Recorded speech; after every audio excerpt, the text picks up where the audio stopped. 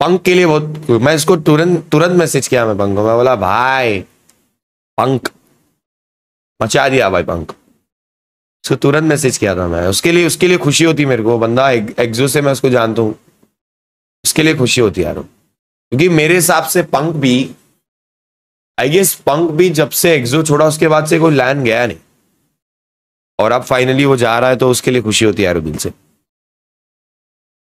मज़ा आने वाला अभी स्पोर्ट्स में है ना फुल हैवी ग्रोथ होगा मेरे हिसाब से। अगले टूर्नामेंट में नेक्स्ट लेवल ग्रोथ होगा। God like qualified huge respect अरे mad mad respect to punk भाई। Congratulation to all the GodL fans finally रहा वो वो कर्स टूट गया। जो इतने टाइम से चल रहा था फैंस का कि भाई क्वालिफाई नहीं हुए क्वालिफाई नहीं हो गया फाइनली अब फुल सपोर्ट दिखाओ अपनी टीम को जाके। कोची जाओ, माँ की गिरगिरी मुंबई से, पुणे से, हैदराबाद से।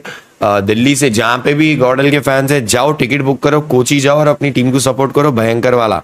टीम्स के बारे में बोलो, भाई एट बिट एंड एक्सपाक के बारे में। हाँ एट बिट एक्सपाक तो देखो, होना ही था यार मतलब एक्सपाक तो क्वालिफाई होना ही था यार मतलब तुम क्या बोल रहे यार बाकी एट बिट क्रेजी भाई हैट्स ऑफ़ टू जूसी मतलब जूसी भाई हर बार लाइन लेके जाते भाई एट बिट को। आगे आई होप इस बार हम लोग लाइन में खतरनाक परफॉर्म करें। मर्सी भाई हमारे जो है खुश हो जाए। ओके क्वालिफाई फाइनली भाई congratulation to all the GodL fans I am happy यारो मैं खुद खुश हूँ क्योंकि इससे क्या होगा मालूम?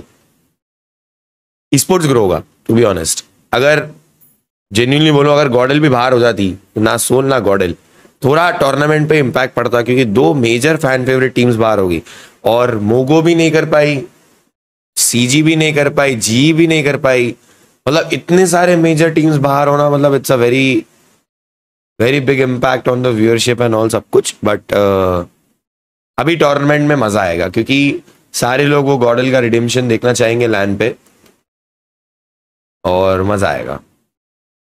मैं तो जेन्यूनली चाहता हूँ टॉप फाइव टॉप थ्री आए लैंड में भी क्योंकि है ना उनसे उनकी वहाँ से स्टोरी अच्छी बनेगी उनकी और ई स्पोर्ट्स में ऑडियंस फिर पावरफुल आएगी नेक्स्ट टूर्नामेंट में कि भाई हमारी टीम ने भी किया था अब तुम बोल नहीं सकते कि हम लोग क्वालिफाई नहीं किए ये नहीं किए वो नहीं किए। समझ रहे क्या? अभी ऑडियंस के बीच में अच्छा खासा बैंटर चालू होगा और सही है।